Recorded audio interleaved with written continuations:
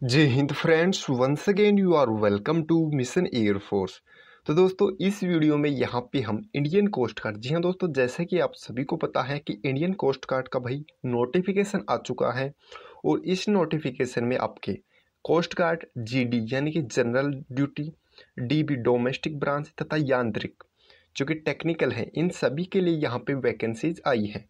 तो इस वीडियो में बात करेंगे कि इन सभी जो वैकेंसीज हैं जीडी डीबी तथा यांत्रिक, इनमें काम क्या होता है, यानी कि वर्क क्या है? अलग अलग काम है, सभी का यहाँ पे बताएँगे, ताकि आप अप्लाई करने से पहले विचार करके अप्लाई करें कि कौन सी जॉब आपके लिए अच्छी रहेगी, कौन सा काम आपके लिए बेटर रहेगा। तो इंडियन कोस्ट गार्ड की वैकेंसी आ चुकी है, जिसमें कि दो जुलाई से आपके सिक्सटीन जुलाई तक फॉर्म फिल किए जाएँगे।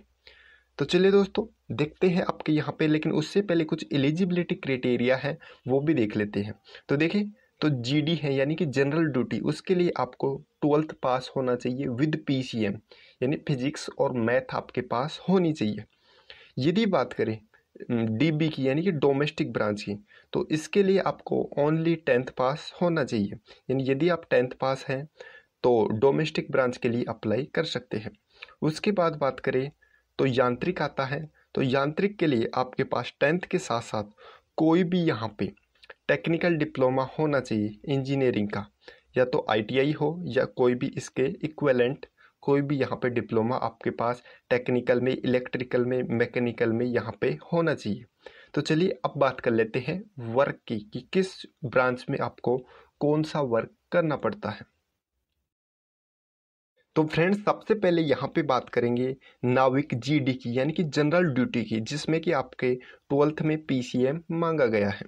तो जनरल ड्यूटी की बात करते हैं नाविक कोस्ट गार्ड की। तो देखिए दोस्तों, इसमें आपका क्या?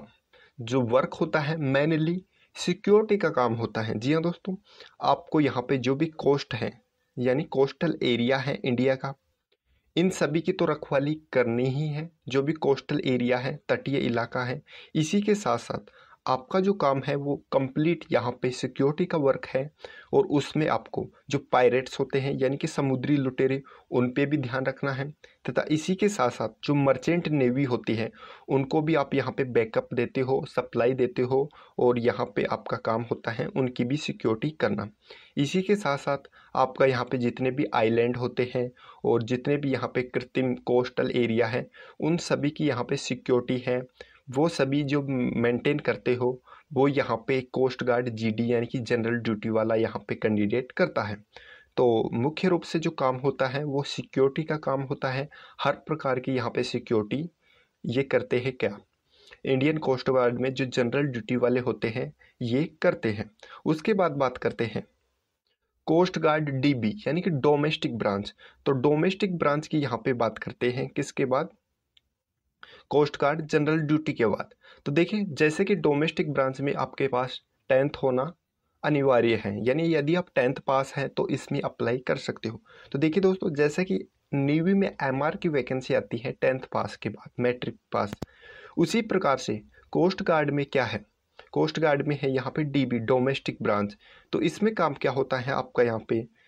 इसमें जो काम होता है, वो आपका भाई कुक का और स्टेवर्ड का, यानी खाना बनाना और कान, खाना जो है सर्व करना, ये काम आपका यहाँ पे होता है। और खाने के लिए यहाँ पे मैं बता दूँ वेज और नॉन वेज यहाँ पे दोनों ही खाना यहाँ पे आपको बनाना पड़ता है। तो यदि आप भाई वेजिटेरियन हो तो सोच समझ के फॉर्म फिल कीजिएगा कि यदि आप ये काम कर सकते हो फ्यूचर में तो फिर आपके लिए यहाँ पे कोई बॉन्डेशन नहीं है। तो चलिए दोस्तों, ये था डीबी का डोमेस्टिक ब्रांच का, यानी यहाँ पे काम होता है आपका कुक का और स्टीवर्ड का। खाना बनाना है, परोसना है और यहाँ पे साफ़ सफ़ाई मेंटेन करनी है किचन वगैरह जो भी वहाँ पे मैस है उसमें।